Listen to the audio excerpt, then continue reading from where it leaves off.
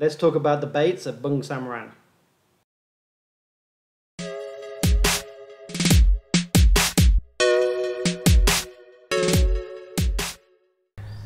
So I want to just go over the baits that are available at Bung Samran when you come here. You can buy bread. It's already slightly sort of ground up. A big bucket of it. And you can buy ram. Ram is basically a Thai ground bait. It's the husk of the rice uh, grain. Those little husks that, that, that come off the rice grain when they process the rice, they grind them up and they create this super dry powder. It looks kind of like a talcum powder. And those are the two baits that you can buy and use when you come to Bung Samran.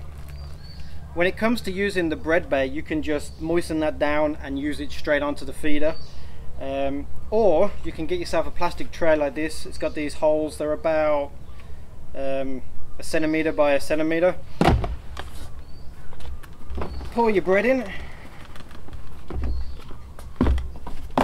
and then rough the bread backwards and forwards kind of like a cheese grater but you're grating the bread up and then the bread that falls through I don't know if you can see this the bread that falls through is going to be much finer more even and hopefully when it gets into the water it breaks up a lot better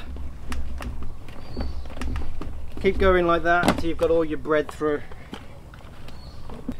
the thing about the ram bait is you want it dry enough so that when it hits the water it breaks up quite quickly and brings the fish in. You don't want to bring your uh, feeder in after 15-20 minutes and find that you've still got a ball of ram on it because you it's, it's too wet. But you also want to make it wet enough so that it can stand up to the forces involved with the cast. When it comes out of the bag it's really dry and powdery like this. A few things that can help is to get yourself a water bottle filled with the lake water punch a row of holes in the top of it so it gives you a bit more of a spray pattern and then you've really got to work it getting one of these uh, wide shallow bowls so you can really mix all the ram together and stir it around is going to make life a lot easier for you.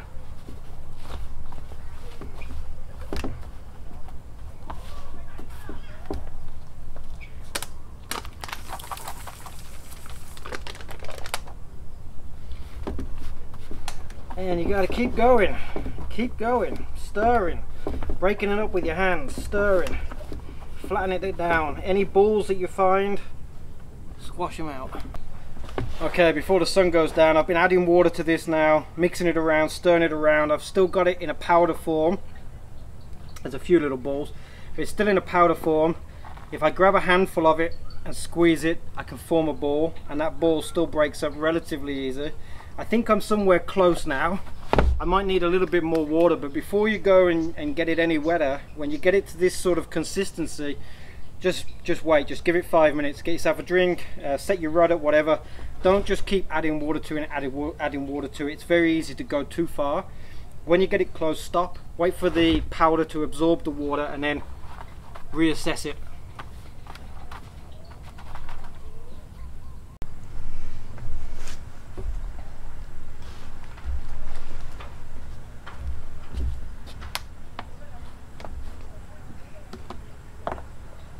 Okay, it's been a it's been a few minutes. I've I have added a little bit more water. It seemed to dry out a bit. I've still got it light and fluffy.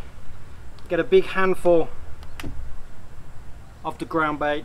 Drop the cage feeder right into the middle of it. Middle of it. Another handful on the top. Really sort of light to start with. Just keep getting the material up. Once you've got a big handful of it, you can work it around squeezing it in, squeezing it in, squeezing it in. Keep going. Your bait, you're, you're making a ball about as big as a tennis ball.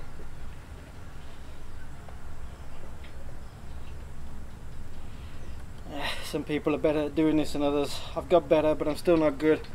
Make sure your line's free, both ends. You've got it into a nice powdery ball. Take the hook. Now you don't actually need anything on the hook the fish will just take it as they swim past. Or you can put a little bit of uh, bread um, or some people will just put a chunk of uh, float on it to make the, the hook a little bit negatively buoyant. You'll see some people put in um, like a white polystyrene balls on it that you'd find in sort of uh, pillows and things. Or just chop up an old float give yourself a little chunk make sure the, the hook still sinks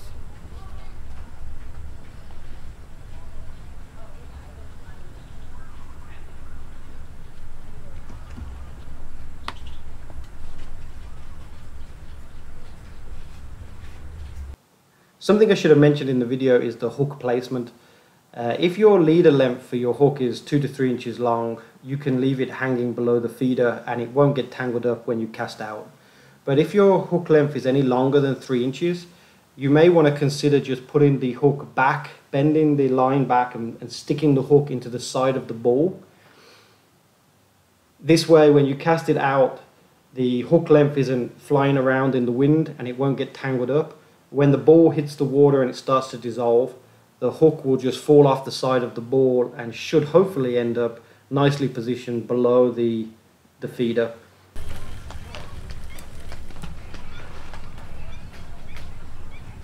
I hope you enjoyed this video. Please like and subscribe.